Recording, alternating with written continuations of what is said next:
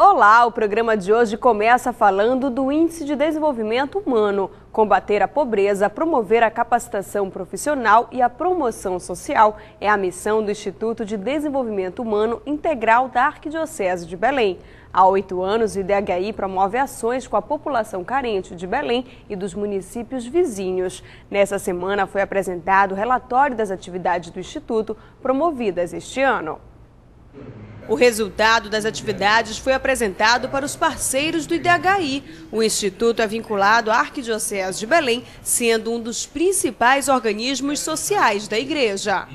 Nós temos as obras sociais da Arquidiocese, que são como que esse grande braço institucional para todos os convênios, os contatos sociais, e que administra a parte social. Nós temos a Caritas, que é a operacionalização da caridade do serviço social, com seus vários projetos. E o IDHI, que é uma expressão da Arquidiocese, na formação e na capacitação das pessoas em vista da promoção humana. Então, nós queremos agir em vários campos, com métodos diferentes e complementares, de forma que a igreja possa eh, contribuir na construção de uma sociedade mais justa e mais fraterna. O instituto foi criado em 2006. Até hoje já atendeu 36.800 pessoas que participaram de capacitações e treinamentos profissionais, além de palestras e ações de cidadania. Dentre os 27 cursos ofertados este ano, os mais procurados foram artesanato, biojoias, panificação e avicultura.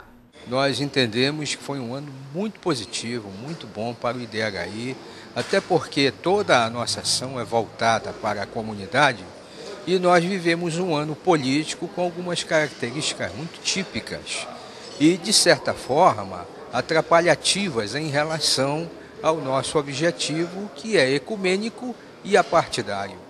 A maioria dos beneficiados com as ações do IDHI são pessoas desempregadas ou que possuem renda menor de um salário mínimo, com faixa etária de 16 a 45 anos. Os projetos são desenvolvidos a partir de parcerias.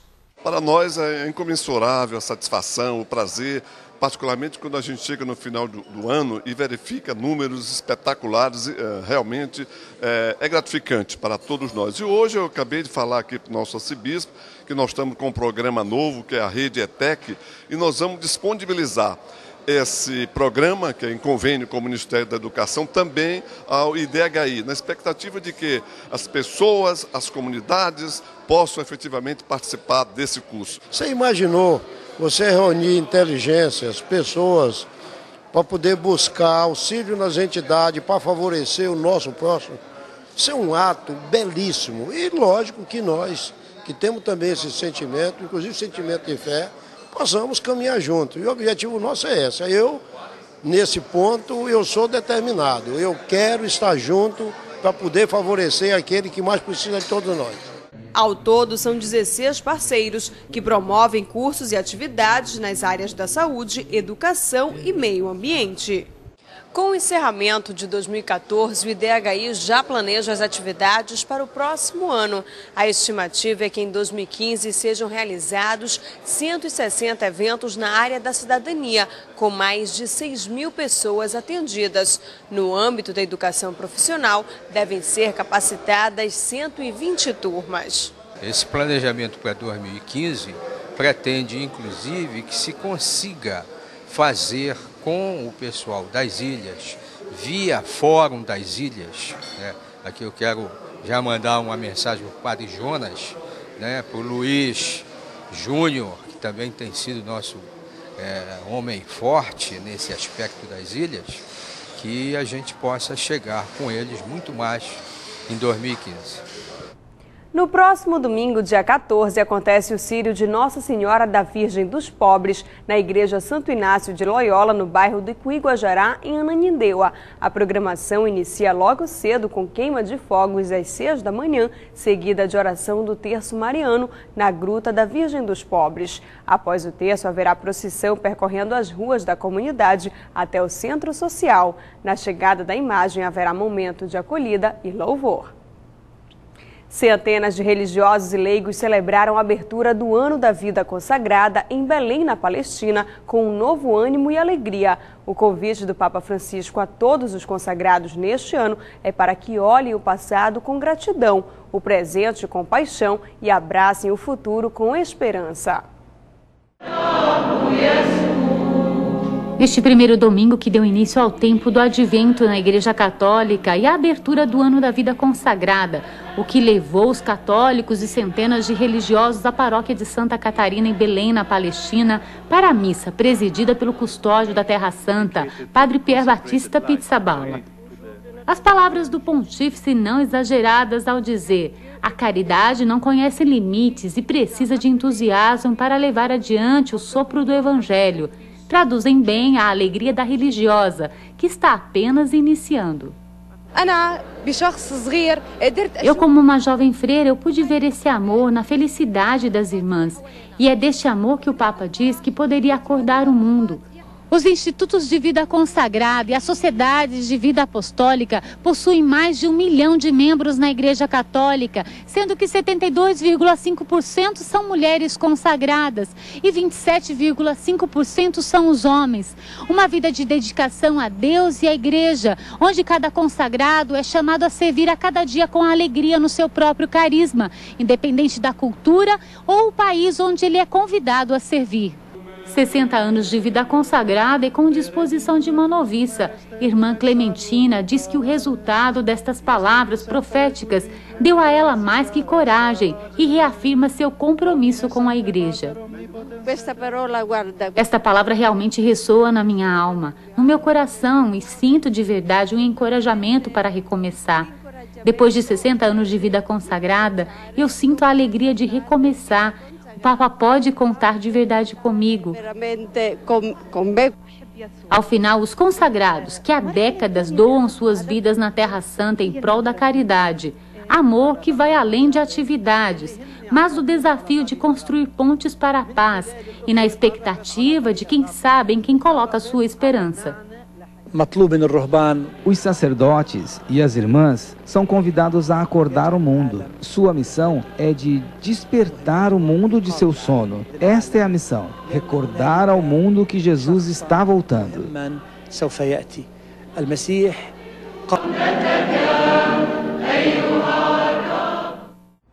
Maria, Mulher Eucarística é o tema do Sírio 2015. O tema foi anunciado nesta sexta-feira durante a cerimônia de posse da diretoria da festa. O evento aconteceu na Capela Bom Pastor, no Centro Social de Nazaré. Participaram da cerimônia o Serviço Metropolitano de Belém, do Alberto Taveira, o presidente da diretoria da festa, Padre José Ramos, e o casal coordenador do Sírio, Jorge e Amélia Cherfan. Ao final da solenidade de posse dos novos membros da diretoria, Dom Alberto anunciou o tema do Sírio 2015, ressaltando que a Arquidiocese de Belém se prepara para o 16º Congresso Eucarístico Nacional e de 12 de janeiro de 2015 a 12 de janeiro de 2016, a Igreja em Belém vive o ano eucarístico. Por isso, o Sírio do ano que vem estará em sintonia com a Igreja e a Eucaristia. Arquidioceses de todo o país celebraram o Dia Nacional da Juventude. Em Sergipe, a comemoração foi animada. Alegria, juventude e fé.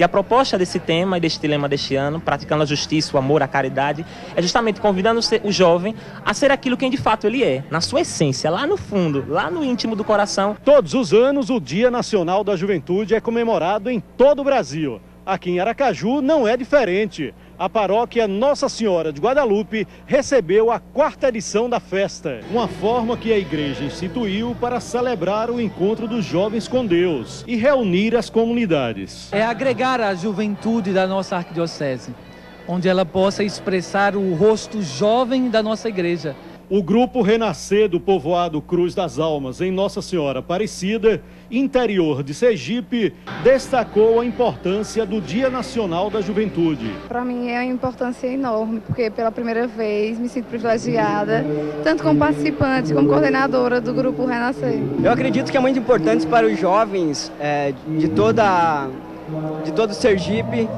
vir participar de um evento como esse porque mostra a força da juventude. Momento importante para os jovens e até mesmo para os mais experientes na igreja. É o caso deste fiel que há muitos anos faz parte do Ministério Eucarístico. Eu acho isso tudo de bom. Só tem que agradecer mesmo a Deus por esse momento. Estamos aqui, a igreja cheia. Falando em juventude, uma mesa redonda animou os jovens da primeira missão na Amazônia nesta segunda-feira, dia 1 de dezembro. O bate-papo fez parte da formação missionária que os jovens receberam antes de serem enviados para os seus campos de missão. Representantes das diversas expressões juvenis do estado do Amazonas partilharam experiências. No Rio de Janeiro começou essa semana a Feira da Providência. O evento, organizado pela Arquidiocese, reúne expositores de diversos países e o dinheiro arrecadado ajuda famílias carentes de todo o estado. Há 20 anos é assim. Se tem Feira da Providência, lá estão as amigas Vera e Carmen. Antes da gente comprar qualquer coisa em lojas e comércio, a gente sempre vem à feira. Desta vez, a solidariedade pegou carona no carrinho de supermercado. Assim fica mais fácil carregar as compras. Então a ideia é sair com esse carrinho cheio hoje. É. Ah, se não for cheio, quase isso, né? São cerca de 300 expositores e parte do lucro obtido com a venda dos produtos vai para as atividades sociais do Banco da Providência. É um trabalho social da Arquidiocese do Rio de Janeiro, né, com o nome de Banco da Providência, e tem dado muito certo pelo número de pessoas promovidas, com o trabalho sério que é feito. Além das diversas opções de compras, o evento proporciona uma viagem cultural por estados brasileiros e outros países, através da culinária e do artesanato. Vladimir e a filha Anastácia são da Ucrânia. Especialmente para a feira, eles trouxeram um rico exemplar da cultura do país europeu o artesanato feito em família. Parte de madeira fazem homem. Ele, ele, eles fazem, é, trabalham com madeira e parte da pintura já fazem mulheres. Uma das novidades deste ano na feira são os food trucks, ou em português, caminhões de comida. Este tipo de veículo muito comum no exterior vem se popularizando no país. Na prática, são versões melhoradas dos nossos já conhecidos carrinhos de pastel, hot dog e caldo de cana. Uma comida de boa qualidade, uma comida assim é, de preços acessíveis às pessoas, né? Então está sendo muito bem aceito. Com o que foi arrecadado na última edição da feira, no ano passado, o Banco da Providência ajudou mais de duas mil famílias em 70 comunidades do Rio. Por isso, fazer negócio aqui é uma alegria. Bom para quem compra e muito melhor para quem vende. O povo carioca é o melhor povo que existe para comprar. Então é por isso que eu sempre venho ao Rio de Janeiro todo fim do ano. No próximo domingo acontece em Mosqueiro, na região metropolitana de Belém, a grande homenagem à Nossa Senhora do Ó. A Maria das Mercês está aqui com a gente para ajudar os detalhes dessa festa. Dona Maria, é o grande sírio de Nossa Senhora do Ó, mas a festividade ela já iniciou, vocês já fizeram aí vários preparativos para essa grande festa? Sim, já houve desde a como eu falo sempre, o envio, para nós, a missa já é o início da festividade. Então, passamos desde outubro fazendo as peregrinações nas famílias e depois vem a peregrinação nas instituições, que, por sinal, encerra no dia 5. Né? Agora, a partir desse domingo do Grande Sírio, inicia os festejos na praça, na Praça da Igreja Matriz sim, em Mosqueiro? Sim, sim. No dia, no dia do Sírio, quem celebra é Dom Alberto, que é às sete horas. Então, o Sírio começa na Capela de Sagrado Coração de Jesus e vai até a Matriz. Quando chega lá, é só a bênção e o pessoal se dispersa. Né? À noite, já vai um outro padre de outra paróquia é, celebrar a missa, que é às 19 horas e depois das 19 horas, então, as pessoas vão para o arraial, que vai ter venda de comidas típicas, venda das cartelas do, do sorteio, que vai ser no dia 21. E assim, todos os dias ocorre a mesma coisa: missa e depois a praça. A gente lembra que o Cirilo acontece no dia 14, no próximo domingo, e a partir do dia 15, então, segue essa festividade. As missas são sempre a partir de que horário? 19 horas, sempre às 19 horas com um padre convidado, né?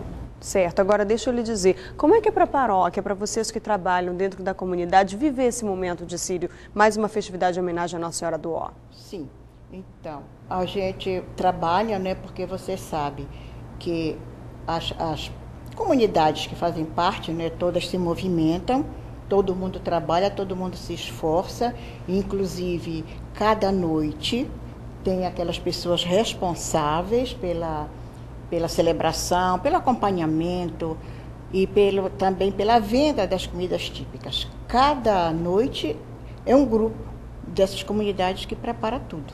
Certo. Inclusive desde a liturgia. Todo o trabalho é feito por vocês. Eu é. peço aproveitar a sua presença aqui para a senhora convidar todo mundo a participar no dia 14, então, do Círio de Nossa Senhora do Ó.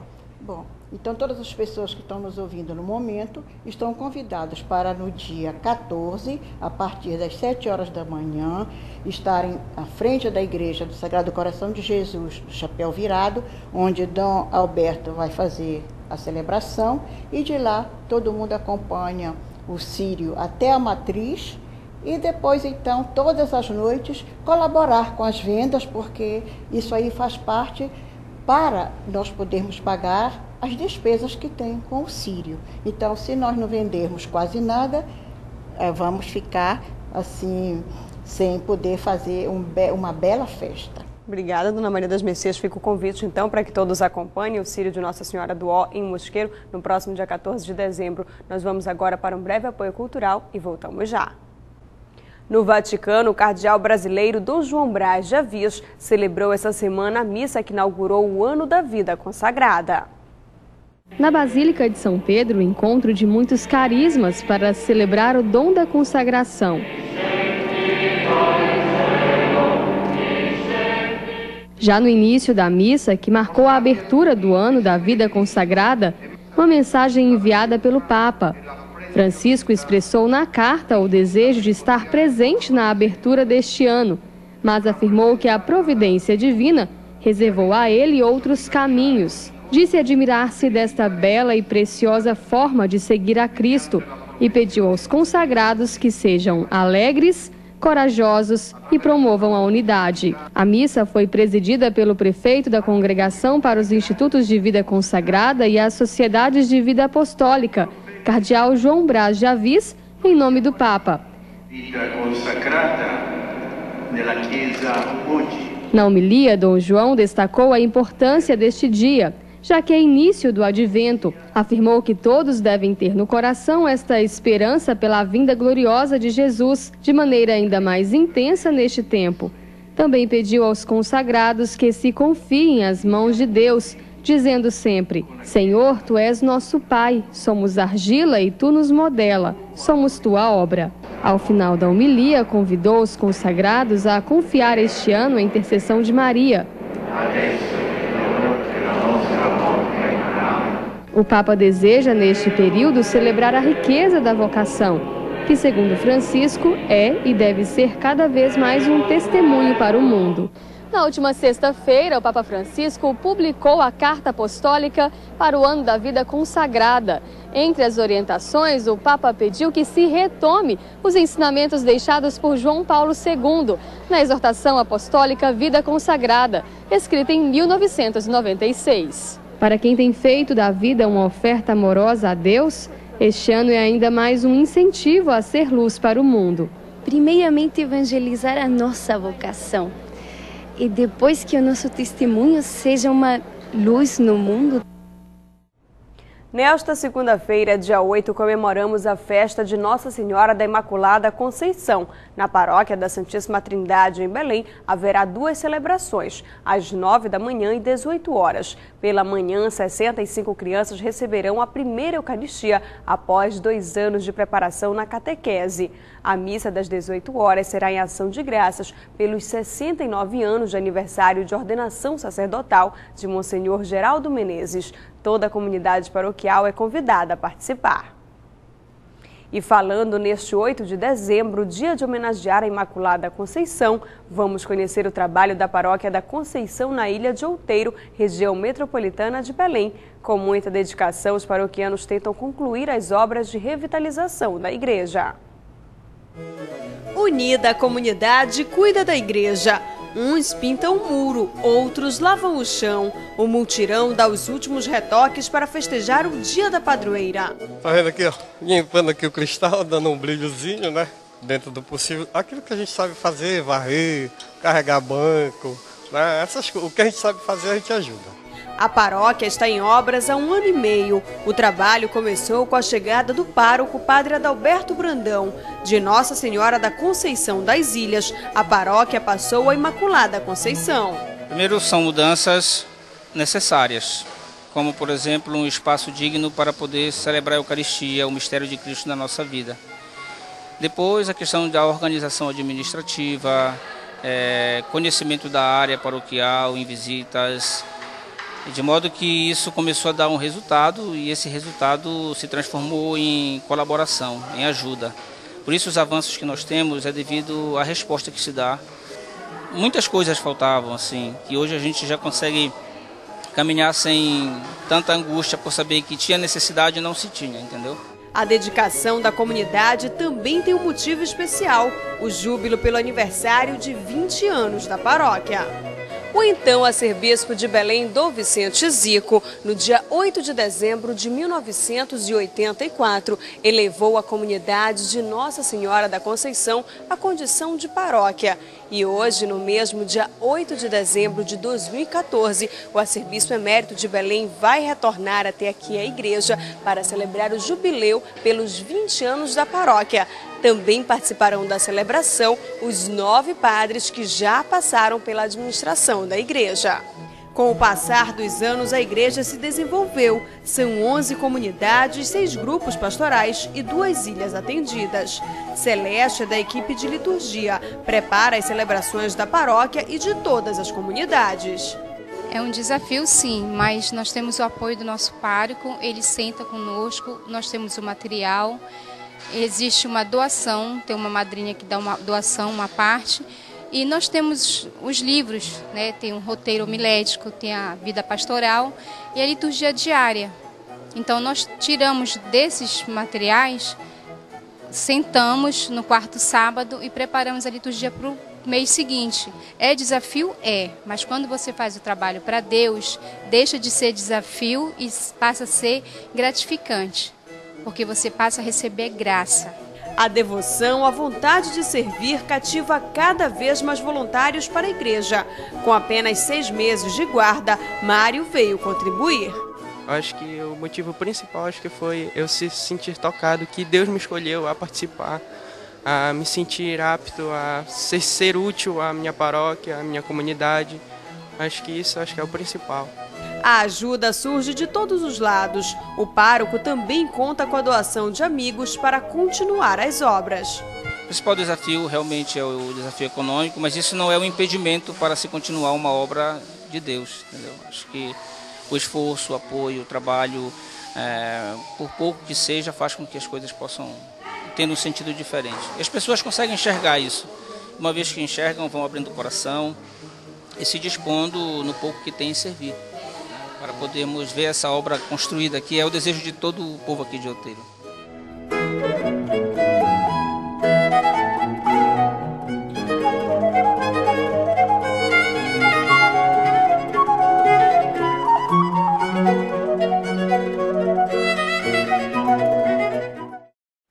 E falando em festividades, a Nossa Senhora da Conceição, nas Águas Lindas, em Ananindeua, também acontece essa festividade. O Carlos Augusto está aqui com a gente para dar todos os detalhes.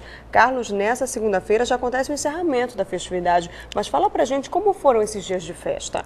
Bem, é, só foi alegria, entendeu? A comunidade se motivou com a ajuda de toda a comunidade do, do nosso bairro.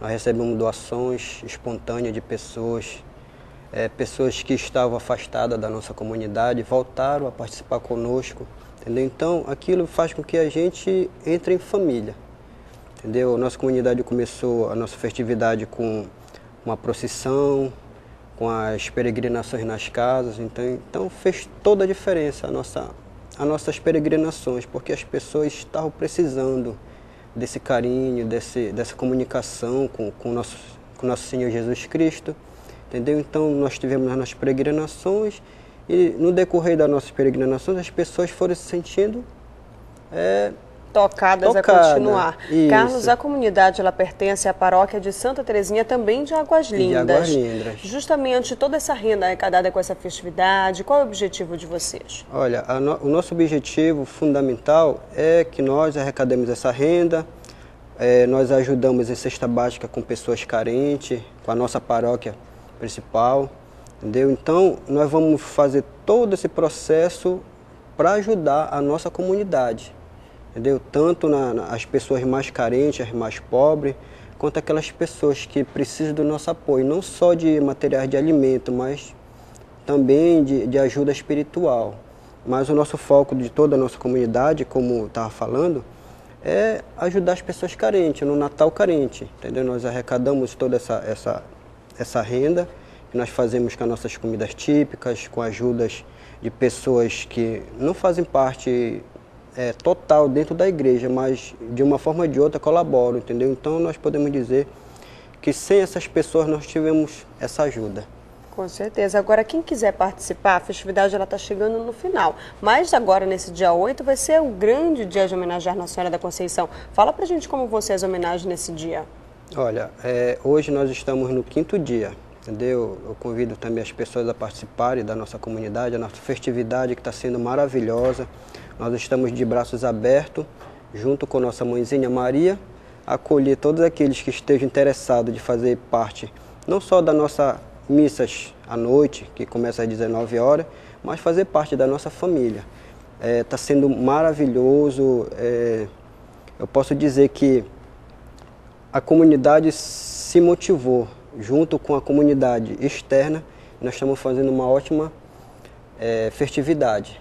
Com certeza, Carlos. Eu lembro só quem quiser participar do encerramento da festividade, a procissão em homenagem à Nossa Senhora da Conceição, ela acontece nesta segunda-feira a partir das 18 horas, saindo da comunidade. Da comunidade Guadalupe, que fica próximo à nossa comunidade, vai em procissão até a nossa paróquia, até a nossa comunidade, que é a comunidade Imaculada Conceição, que está em festividade. Tá certo. Obrigada, Carlos, pela sua presença aqui com a gente. Nós vamos aproveitar agora para acompanhar a agenda dos bispos da Arquidiocese de Belém para essa semana.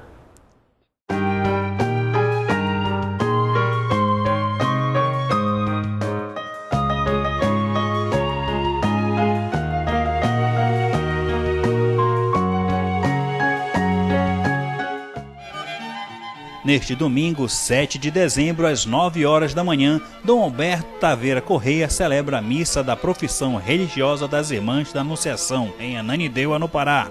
Às quatro e meia da tarde, celebra a missa do movimento dos focolares na Basílica Santuário de Nazaré. E às sete e meia da noite, celebra a missa na paróquia de Nossa Senhora da Conceição, no bairro do Castanheira. Na segunda-feira, 8 de dezembro, às 6 horas da noite, celebra a missa na paróquia da Imaculada Conceição, em Carananduba, no Mosqueiro. Na quarta-feira, 10 de dezembro, às 6 e meia da manhã, celebra a missa no Carmelo, em Benevides. Na quinta-feira, 11 de dezembro, às 8 e meia da noite, estará no Conselho Episcopal da Arquidiocese de Belém. E às 6 horas da noite, celebra Crisma na paróquia do Bom Pastor, em Marituba. Neste domingo, 7 de dezembro, às 10 horas da manhã, Dom Teodoro Mendes celebra a missa e procissão da comunidade São Benedito na ilha do Maracujá. Às 7 horas da noite, celebra a missa na paróquia Nossa Senhora da Imaculada Conceição, no bairro do Castanheira. Na segunda-feira, 8 de dezembro, às 7 horas da manhã, celebra missa na paróquia Nossa Senhora Imaculada Conceição, na Cidade Velha. Às 11h30 da manhã, celebra missa em Icoraci. E às 7h30 da noite, celebra missa na paróquia Nossa Senhora da Imaculada Conceição, em Benfica. Na terça-feira, 9 de dezembro, às 7 horas da noite, celebra missa na paróquia Nossa Senhora do Guadalupe, em Ananindeua. Na quarta-feira, 10 de dezembro, às 9 horas da manhã, estará em reunião da Pastoral Ecumênica. Às 7 horas da noite, celebra missa na paróquia Nossa Senhora do Bom Futuro. Já na quinta-feira, 11 de dezembro, às 9 horas da manhã, estará em reunião do Conselho Episcopal da Arquidiocese de Belém. E às 8 horas da noite, celebra missa na Capela do Pão de Santo Antônio. Neste domingo, 7 de dezembro, às 7 horas da manhã, Dorineu Román celebra a missa do Círio de Outeiro. Às 6 horas da noite, celebra a missa na paróquia Nossa Senhora Auxiliadora, no Aurá. Na segunda-feira, 8 de dezembro, às 8 e meia da manhã, celebra a missa do Círio de Nossa Senhora da Conceição em Mosqueiro. Às 7 horas da noite, celebra a missa na paróquia Nossa Senhora da Conceição em Mosqueiro. Na terça-feira, 9 de dezembro, às 7 e meia da noite, celebra a missa da comunidade Santa Luzia na paróquia Nossa Senhora da Conceição em Benfica. Na quarta-feira, 10 de dezembro, celebra a Crisma na Casa da Juventude. Já na quinta-feira, 11 de dezembro, 8 e meia da manhã, estará em reunião no Conselho Episcopal. E às 7 horas da noite, celebra a missa na comunidade Nossa Senhora do Guadalupe, na paróquia Arcanjo São Miguel, no Una.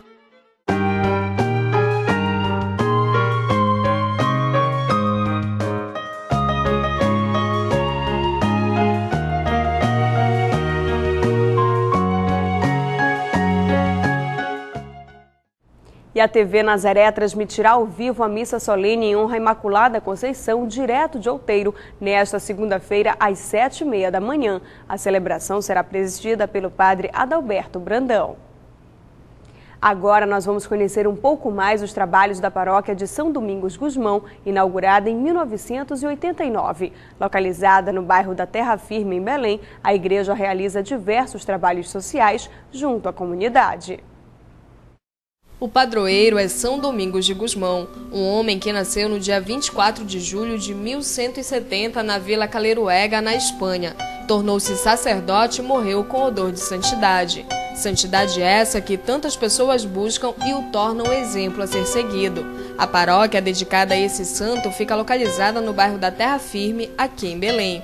A paróquia São Domingos de Gusmão foi inaugurada em 7 de agosto de 1989. Atualmente atende três comunidades: São Domingos de Gusmão, Santo Agostinho e Cristo Libertador, e conta com cerca de 35 pastorais.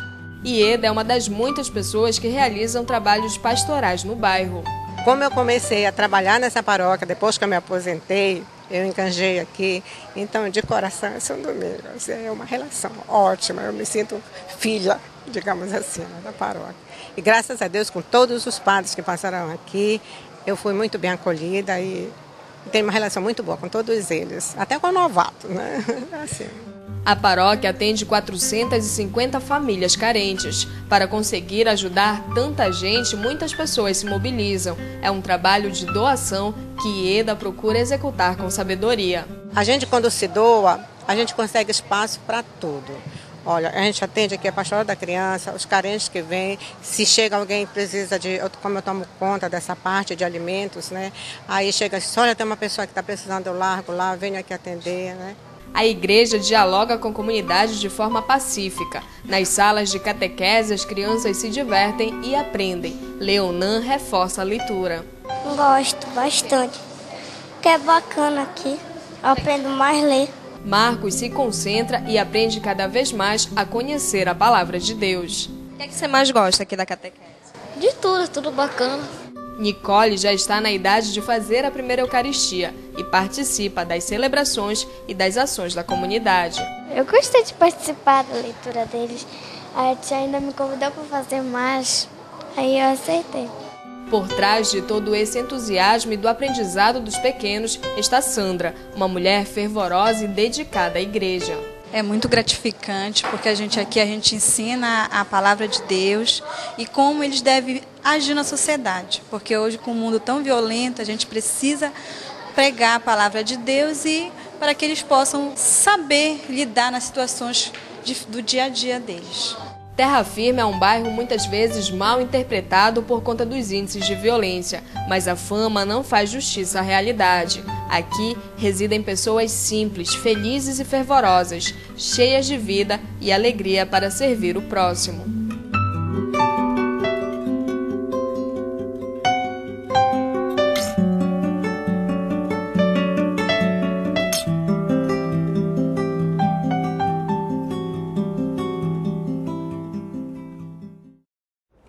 Neste domingo, o Movimento dos Focolares comemora 71 anos de existência. Em Belém, a comunidade promove uma jornada para comemorar. O Rubens Loureiro está aqui com a gente para dar mais detalhes. Rubens, primeiro, como é que é para vocês né, é, participar dessa homenagem celebrar esses 71 anos do movimento? Então, uma alegria muito grande, porque justamente no 7 de dezembro foi o Cindy Chiara quando tudo começou. Se não fosse o seu sim, 71 anos atrás, não estaríamos aqui hoje na Amazônia também. Lembrando que esse sim foi dado lá em Trento, na Itália, e de lá se difundiu para o mundo inteiro. Hoje estamos aqui, também na Amazônia, e em Belém vamos comemorar, festejar, é, agradecendo a Deus a nossa presença aqui e em todo o mundo, com essa jornada em Benevides, no Centro Mariápolis do Movimento Socolares. A partir das 9 horas da manhã, começa com a missa, celebrada por Dom Eck, Padre Eck Schneider, que também mora na Mariápolis. E durante o dia teremos várias discussões, é, palestras. O tema central é o amor recíproco. E nesse tema vamos abordar o subtema Quando entre irmãos existe o amor. Serão experiências, serão palestras e músicas, danças, porque é um dia de festa. Com certeza. Rubens, para quem conhece pouco o movimento, como é que a gente pode entender o principal carisma da, do, do, grupo, do Mariápolis, dos Focolares? É, o carisma principal é a unidade. Kiara e suas primeiras companheiras, à luz do Evangelho, elas entenderam que aquela passagem, é, Pai, que todos sejam um, quando Jesus fala, era para elas. E elas decidiram viver a sua vida por esse motivo. Né? E isso se difundiu. Então, nós estamos nos nossos trabalhos, nas escolas, os estudantes, na família, em todos os ambientes, o nosso principal é, objetivo é esse, levar a unidade entre todos, né? construir entre gerações, entre pessoas de, de sexo diferente, entre pessoas de é, política diferente, mas procurar não aquilo que divide, mas aquilo que nos une, para podermos construir essa unidade no mundo aqui no Pará, vocês estão bem próximos a Belém, em Benevides. Lá existe o Mariápolis, como você mencionou, onde está presente o movimento dos focolares, para que as pessoas entendam como é o trabalho de vocês, como é que é a rotina do movimento aqui em Belém. Então, nós somos é, organizados em grupos, de acordo com a faixa etária. Então, existem crianças, jovens, adultos. Os adultos podem participar é, como voluntários, também como famílias. E existem também sacerdotes religiosos né, que também participam. Então, de acordo com a sua inserção na sociedade, participa também. Então, por exemplo, eu sou um voluntário, eu tenho o meu trabalho, a minha família, e uma vez por, por semana me reúno com outros que também dividem esse mesmo ideal comigo, para a gente se comunicar as experiências e também abastecermos com a palavra para podermos levar esse espírito da unidade nos nossos trabalhos. Certo. Agora, Rubens, vamos destacar então esses 71 anos. Vamos relembrar como vai ser a comemoração aqui no Mariápolis, em Belém. Vai ser nesse domingo, a partir das 9 da manhã. Correto. E começa com a missa, como eu disse. Depois teremos esses momentos de, de palestras. Haverá o almoço sempre lá e continua à tarde até às 17 horas. É, a partir das 17 horas, teremos a confraternização nossa de Natal e agradecimento por esses 71 anos. Para quem quiser participar, pede-se uma colaboração de 30 reais, incluído o almoço, para esse dia que vamos passar juntos lá. Qualquer pessoa pode participar? Qualquer pessoa, inclusive crianças, podem levar filhos, que teremos um programa especial para eles numa sala à parte. Obrigada, Rubens, pela sua presença e umas ótimas comemorações desses 71 anos, Muito né? Obrigado. Muita glória. Amém. Nós vamos agora para um breve apoio cultural e voltamos já. Neste final de semana, a Arquidiocese de Belém ganhou três novos presbíteros. Aconteceu a cerimônia de ordenação presbiteral dos diáconos Edinaldo Duarte Sobrinho, Irlanda Silva Figueiredo e Ulisses José Albuquerque de Campos. A celebração aconteceu na Catedral Metropolitana de Belém, presidida por Dom Alberto Taveira, com a presença de paroquianos, amigos e familiares. Vamos falar agora das atividades do Papa dessa semana. O fim de semana do Papa Francisco na Turquia foi histórico e intenso. Depois de cumprir os compromissos com os membros da Igreja Ortodoxas e autoridades locais em quase três dias, o pontífice desembarcou em Roma e, durante seu retorno, falou com a imprensa. No voo de volta a Roma, Francisco conversou com jornalistas para aprofundar aspectos da viagem à Turquia falou da fobia para com os cristãos e muçulmanos. A perseguição religiosa foi um dos pontos da declaração conjunta que assinou com o patriarca Bartolomeu em Istambul. Respondendo às perguntas, o Papa Francisco expressou novamente o seu desejo de ir ao Iraque, o que, ao menos por enquanto, é inviável. Citou a visita que fez à Mesquita Azul no sábado, onde entrou descalço, conforme a tradição. Ali rezou, sobretudo, pela paz e pelo diálogo interreligioso, para que não seja somente teológico, mas experiencial. No sábado, na presença do patriarca de Constantinopla, o Santo Padre presidiu a missa e afirmou que o Espírito Santo é a alma da igreja que dá vida. Na Igreja Patriarcal de São Jorge, o Papa expressou o desejo de unidade plena entre católicos e ortodoxos. Ao final, num gesto histórico, pediu a Bartolomeu uma bênção para ele e para a Igreja de Roma.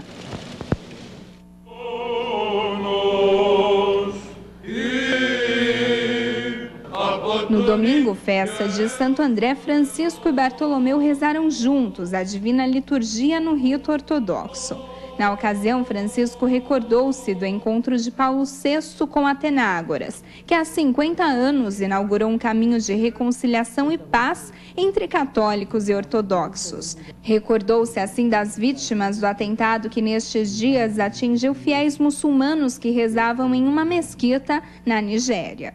Turbare a paz de um povo Turvar a paz de um povo, cometer ou consentir qualquer gênero de violência, especialmente contra pessoas frágeis e indefesas, é um pecado gravíssimo contra Deus. Na declaração conjunta, Francisco e Bartolomeu declararam intenções e preocupações como a promoção da unidade entre os cristãos, a situação no Oriente Médio e o diálogo com o islamismo. O último compromisso do Papa, no domingo, foi na Catedral do Espírito Santo, onde encontrou cerca de 100 refugiados da guerra na Síria e Iraque, acolhidos na Turquia. Ali, o pontífice chamou mais uma vez a atenção dos chefes políticos para que vejam que a grande maioria da população aspira à paz, mesmo que muitas vezes não tenha nem mesmo mais forças para pedi-la. No Vaticano, o Papa Francisco recebeu os membros da Federação dos Organismos Cristãos do Serviço Internacional Voluntário e o presidente de Moçambique. Por ocasião do Dia Internacional do Voluntariado, Francisco ressaltou a necessidade de ser solidário com os pobres. O papel dos voluntários é justamente o de ser instrumento a serviço do protagonismo dos pobres, lutar contra as causas da pobreza. O Papa agradeceu pelo trabalho dos voluntários que levam aos homens e mulheres em dificuldades um anúncio vivo da ternura de Cristo e os incentivou a prosseguir nesse caminho, colocando Jesus sempre no centro. Nesta quinta-feira, o Santo Padre também recebeu o presidente de Moçambique, Armando Emílio Guebuza. Eles falaram dos desafios regionais, como o desarmamento e a luta contra a pobreza e as desigualdades sociais. Dezembro é época de louvar o menino Jesus. Em Marituba, na região metropolitana de Belém, a paróquia promove uma pré-festividade no dia 12, com o um casamento comunitário de 16 casais, que se unirão sobre as bênçãos de Deus. A festividade do Menino Deus inicia no dia 21 e tem como tema Cristo Esperança no Mundo. A programação contará com missas, alvorada, novenas e oração do terço durante os dias de festejo. Faltando pouco para o dia 25 de dezembro, milhões de cristãos se preparam para celebrar o nascimento de Jesus. A tradicional árvore de Natal na Praça São Pedro, no Vaticano, chegou essa semana. Vamos ver. Um pinheiro que desta vez vem da região italiana da Calábria chegou bem cedo ao Vaticano, atraindo a atenção dos peregrinos que passavam por ali muito trabalho, afinal a árvore tem 25 metros e quase 5 toneladas. Suas luzes devem ser acesas no próximo dia 19, data em que o Papa Francisco agradecerá pessoalmente a delegação que doou o grande presente de Natal a ele e ao Vaticano. A estrutura do presépio, que neste ano vem da região do Vêneto, localizada ao norte da Itália, também já começa a ser montada. Neste ano ele será composto por 24 personagens feitos em argila e será, conforme a tradição, inaugurado em 24 de dezembro, antes da Missa do Galo, presidida pelo Papa Francisco. E i simboli sono eh, importanti e ci Os símbolos são importantes, ajudam a nós humanos porque somos encarnados, não somos espírito. Assim como o Senhor Jesus que se encarnou para se fazer homem como nós, para que o pudéssemos tocar. Por isso precisamos dos símbolos e precisamos recordar seu nascimento. A novidade da vida divina que vem nos rejuvenescer e renovar com o nascimento do menino Jesus. con la nascita del, del Gesù bambino.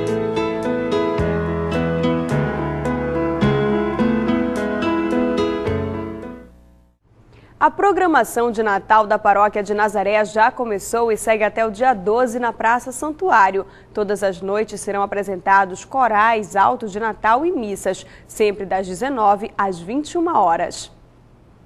Durante este mês de dezembro, a Igreja das Mercês também promove uma programação especial. As atividades iniciam neste domingo com o Seminário de Vida no Espírito Santo, a partir das 9 da manhã. A tradicional Grande Vigília será no dia 19, com início às 20 horas e se estenderá até às 6 da manhã de sábado. No domingo, dia 21, após a missa do meio-dia, a igreja oferece um almoço especial para os moradores de rua. E chegamos ao final de mais um programa. Se você quiser acompanhar as reportagens exibidas aqui no Notícias Pastorais, você pode acessar o portal Nazaré, www.fundacionazaré.com.br. Para divulgar sua paróquia, sua festividade ou seu evento, entre em contato com a nossa central de relacionamento através do 4006-9211. A todos, obrigada pela companhia, um ótimo final de semana. A gente se encontra no próximo programa. Até lá!